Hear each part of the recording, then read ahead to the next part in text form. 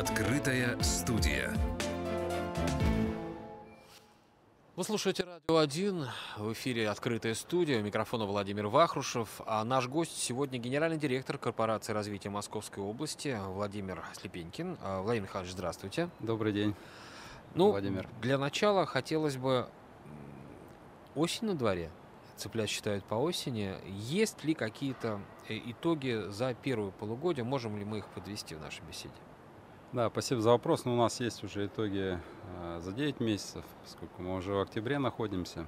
Ну, за 9 месяцев э, усилием корпорации на территории Московской области было привлечено более 60 инвесторов с общим объемом инвестиций 50 миллиардов рублей. Да, эта цифра достаточно большая, поскольку в начале года мы целились в эту цифру только по итогам года. Ну, как мы видим, э, уже по итогам 9 месяцев мы эту цифру достигли. То есть в конце года будут другие Да, показатели? да, ну очевидно, что по итогам всего года эта цифра будет очевидно больше. И нас не может не радовать, равно как и всю Московскую область. Ну, к слову сказать, что в прошлом году эти цифры за весь 2020 год, понятно, год э, был непростой, но эти цифры были в два раза меньше. Мгм. Поэтому итоги, ито- итоги 9 месяцев э, нас э, приятно порадовали. Какие-то э, локации, я имею в виду площадки, на которые заходят инвесторы, они м, сохраняются год от года? То есть это какие-то технопарки или есть новые объекты? Ну, интерес э, инвесторов, прежде всего, конечно, к территориям, которые инфраструктурно готовы, а по определению это, как правило, территории индустриальных парков. Вот, э, но э, некоторые инвесторы, конечно, помимо этого, э, помимо готовности инфраструктурной, для себя э, рассматривают э, и муниципальные земли, вот, поэтому а, сказать так, что вот у нас а, только муниципальная, там, а, областная земля имеет преимущество, я не могу сказать. Да. Есть такой микс. Мгм. мы к каждому инвестору подбираем а, площадки именно исходя из его потребностей. Для кого-то это важен бюджет, для кого-то важна скорость, а скорость достигается только на готовых уже площадках. Поэтому здесь вот такой вот э, микс, э, и корпорация здесь, в общем, выступает неким таким проводником. Владимир инвесторов. Михайлович, тогда такой вопрос. Когда вы рассматриваете проекты инвестиций и самих инвесторов, а, есть ли какая-то градация по приоритетам? Например, по количеству рабочих мест, которые в итоге проект даст Московской области, или, например, по объему инвестиций, которые потом а, пойдут уже в бюджет? Вот об этом пару слов. Ну, а, безусловно, вы совершенно правильно сказали, акценты именно на создание рабочих мест. Потому что не секрет, э, Московская область, как, впрочем, и другие субъекты, испытывают в этом э, плане, наверное, какой-то дефицит. Вот, поэтому, когда мы рассматриваем э, инвесторов, для нас, ну, скажу, скажу сразу, для нас, в принципе, все инвесторы желанны. Поэтому мы на входе никого не отсекаем и всем рады. Но, безусловно, когда мы рассматриваем проекты, их приоритетность, для нас важен, конечно, инвестор, который помимо э, материальных э, таких сумм инвестиций создает э, высокооплачиваемые э, рабочие места. Для нас это крайне важно, Мгм. равно как и для Московской области в целом. Поэтому для нас наверное, три ключевых э, критерия. Это объем налогов, который в будущем будет генерировать этот проект, количество рабочих мест, их качество этих рабочих мест. Вот. Ну и третье, это, конечно, объем инвестиций, который будет э, вложен в этот инвестиционный проект. Потому что по объему инвестиций можно, наверное, как-то судить о серьезности намерений инвесторов и о том производстве, которое будет создано. Потому что большие инвестиции, как правило, это инвестиции в а, такое серьезное производство, где будет создаваться дополнительная стоимость, а это значит, что будут и а, высококвалифицированные рабочие места, и, соответственно, хорошие налоги для Ну и э, области. есть еще вариант развития больших Совершенно верно. проектов, да? Да, да. Мгм. Да, спасибо за, за комментарий. Действительно, большие проекты, они, как правило, ну, они, они не быстро реализовываются, могу сказать, из опыта уже а, что такие большие проекты с точки зрения объемов инвестиций, они, ну, так скажем, вынашиваются от одного до двух лет. А если говорим об иностранных инвесторах, то зачастую это и больше двух лет, потому что у иностранцев есть своя специфика подготовки. Вот. Ну и при этом эти проекты, а, они готовятся тщательно и долго, ну и срок реализации а, у них тоже не быстрый. Ну, все зависит, конечно, от специфики. Если uh-huh. это логистика, это достаточно быстро. Если это производство, то это, конечно, во времени растягивается с той точки зрения, что инвесторы заходят не с, с одной очередью, так сказать, они строят сейчас одну очередь, но потом они подразумеваются, что они будут это производство расширять. Uh-huh.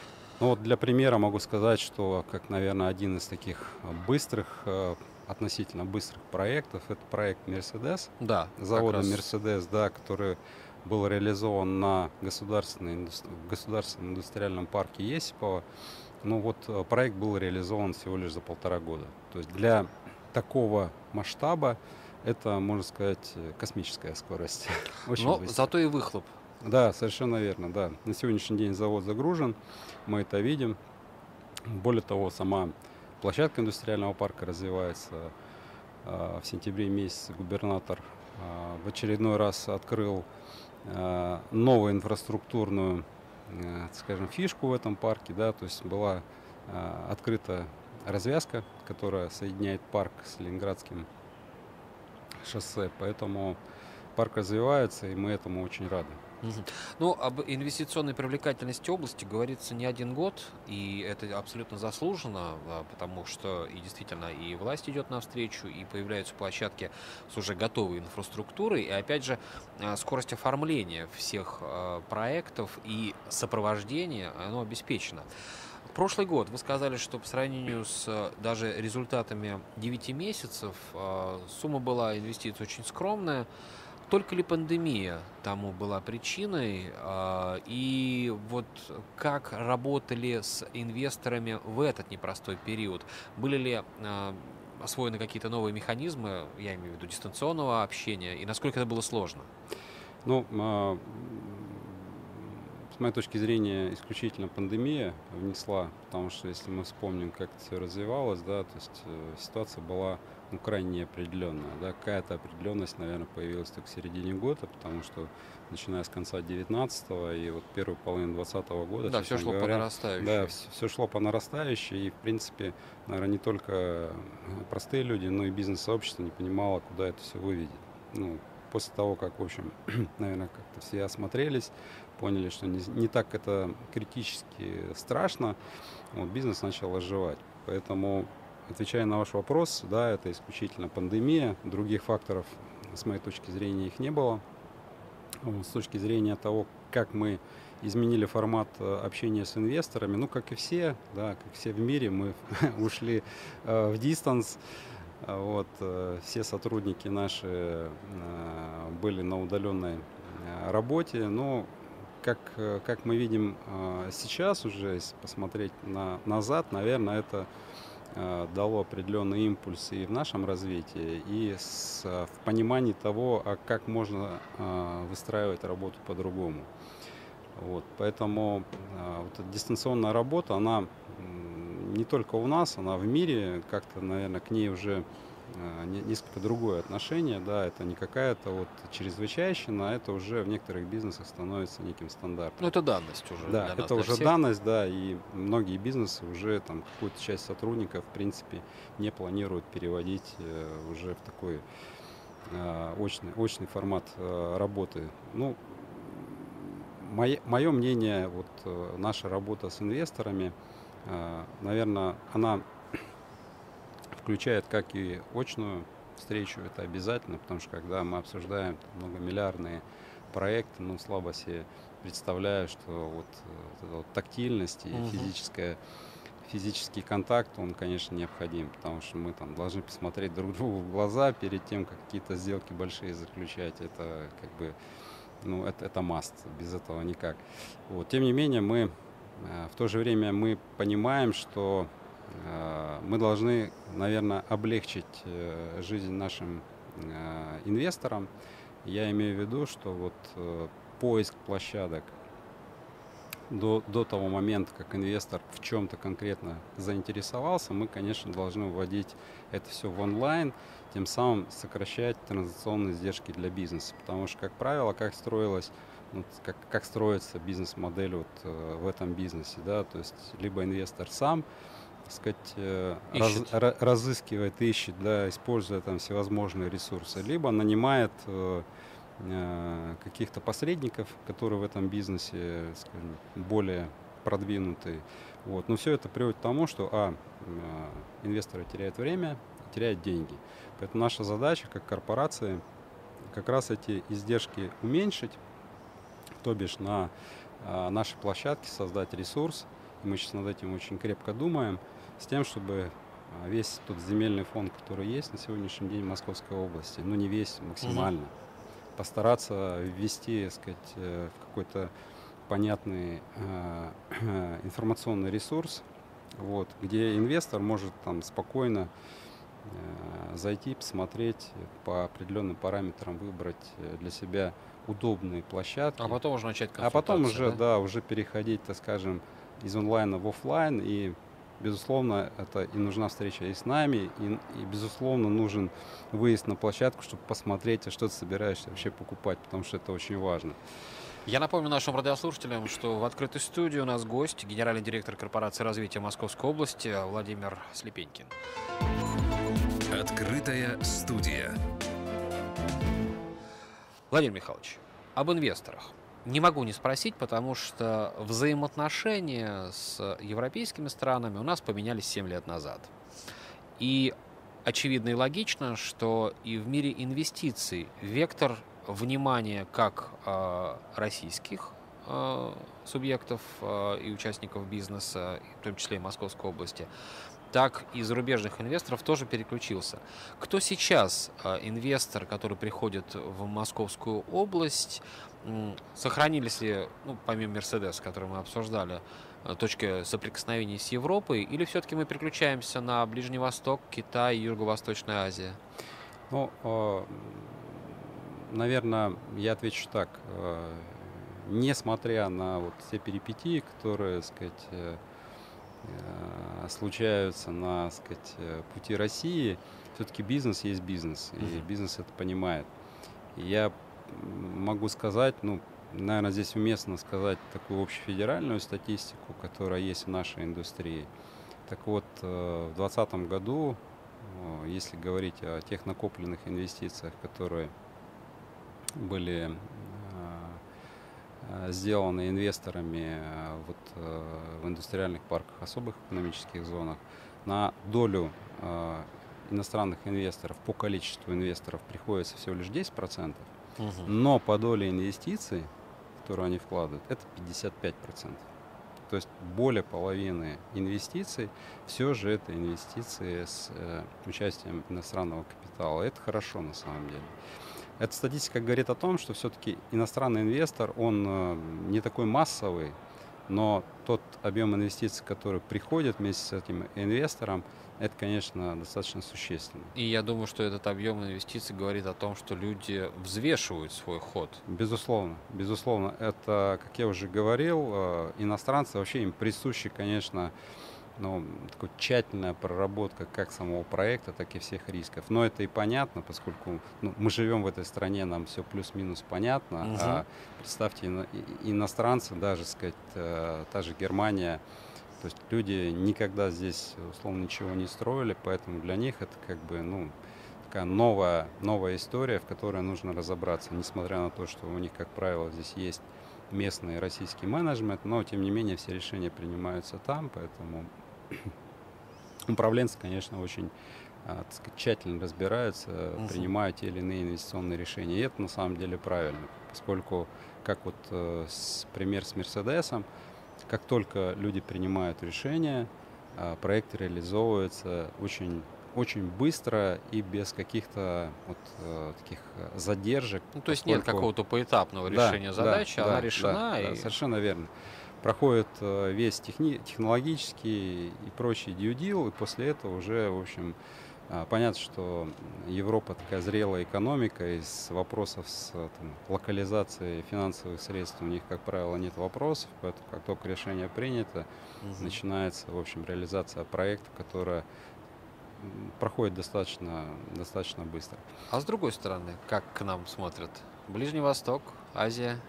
Ну, и я, наверное, так скажу, что основные, основные, наверное, инвесторы, э, которые реализовывают свои проекты на территории Московской области, ну, там это, в принципе, практически там на 100% коррелирует с тем, что есть в целом по Российской Федерации.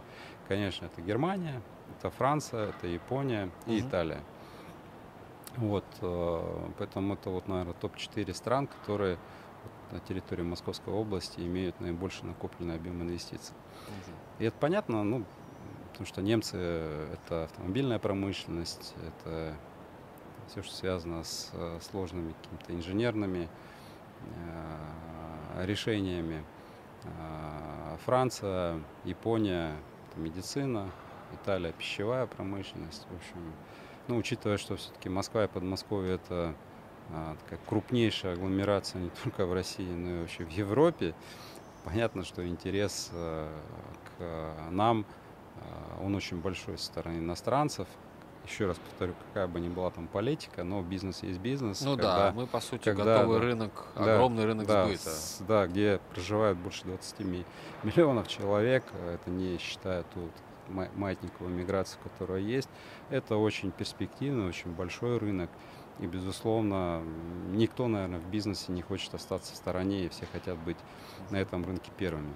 Владимир Михайлович, а есть ли какие-то проекты, которые сейчас можно назвать флагманскими для Московской области, которые находятся в процессе реализации, может быть, в финальной стадии, потому что о реализованных мы уже поговорили частично.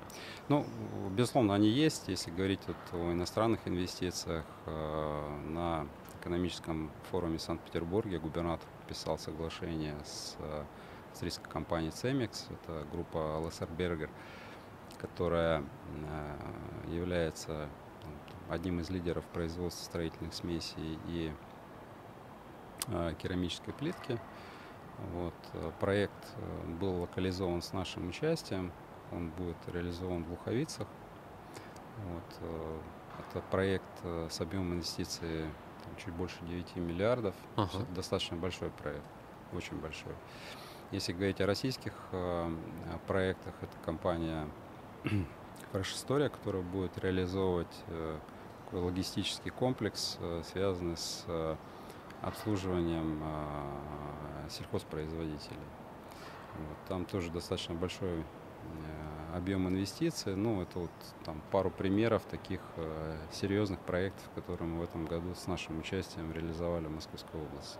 Ну и у нас в проработке еще достаточно много таких знаковых проектов. Ну, понятно, в силу того, что мы пока еще их э, не, не, не реализовали, наверное, я называть не буду, но один из проектов, который идет там с 2019 года, а, это проект локализации производства а, GCB, производитель строительной техники. Угу. Ну, это не секрет, э, с ними давно ведутся переговоры. Это как раз вот тот пример, когда а, инвестор очень долго, долго запрягает, тщательно, да? да, долго запрягает, но а, исходя из того тайминга, который есть, э, после того, как все-таки мы надеемся, он запряжет, э, поедет он достаточно быстро. Поэтому мы очень надеемся, что в следующем году проект уже войдет в такую финальную э, стадию, уже будут материализовываться те производства, которые планируется локализовать на территории Московской области. Потенциал Кстати, индустриальных будет... парков Московской области. А, есть ли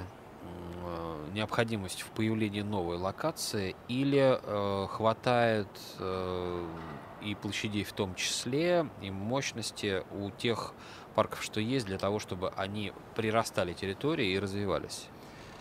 Ну, э, я, наверное, отвечу так. Э, как говорят, денег много не бывает, такие угу. э, индустриальных парков, как мне кажется, тоже. Потому что если говорить о том, ну, Московская область является лидером как по количеству, так и по площади индустриальных парков и особых экономических зон. У нас там больше 60 э, индустриальных парков и, и там, 4 экономические, особо экономические зоны. Больше по количеству нет ни у одного субъекта. По площади то же самое. Но э, если мы посмотрим на ту статистику, которая есть, э, эти индустриальные парки заполнены на практически 70%. Mm-hmm. Это говорит о том, что возможности для дальнейшего развития, они ограничены. И отвечая на ваш вопрос, а надо ли, безусловно, нужно. Нужно, и мы это делаем. Поэтому у нас есть э, собственный индустриальный парк, есть я, я имею в виду государственный парк вот, которые мы практически уже полностью заполнили. Поэтому мы двигаемся сейчас дальше, рассматриваем несколько локаций для создания э, аналогичных проектов. Один из, э, один из возможных вариантов – это проект в Жуковском, который мы, над которым мы сейчас очень э, сильно думаем. Поэтому, да, земля есть, интерес со стороны инвесторов он э, достаточно большой. Вот, э, поэтому индустриальные парки они должны быть. Э, другой вопрос, какая специализация у этих парков. Вот, но то, что мы имеем на сегодняшний день заполняемость 70%, это говорит о том, что мы должны развиваться дальше. Ну да, востребованность и, у тех объектов, которые да, есть да. уже и, высокая. И, собственно, Министерство инвестиций и промышленности Московской области это четко понимает, и в этом плане мы с ними на одной волне. Угу. Оттолкнусь от названия корпорации, все-таки корпорация развития Московской области, и здесь, наверное, э, невозможно не смотреть, ну, может быть, хотя бы на шаг вперед. Какие тенденции э, сейчас только, может быть, зарождаются и станут пиковыми и э, знаковыми для инвесторов? Что это? Это космос или, может быть, это IT-технологии, которые, скажем так, в последнее время растут? Да, ну вот э, прошлый год он, наверное, э, был такой показательный с точки зрения ну, нас как потребителя, да, мы очень, мы гораздо больше стали пользоваться то, что называется сейчас там e-commerce, да, угу. то есть это доставки, такси э, и, прочие вот эти вот истории удаленного потребления, да, ну не потребления, а сказать, э, получения Э, услуг, продуктов. Э, и, собственно, это вызвало такой бурный рост в этой индустрии. Прежде всего, бурный рост именно логистической инфраструктуры. И несмотря на то, что там Москва и Московская область в этом году там, стали крупнейшими, по-моему, в Европе, в Европе по вводу э,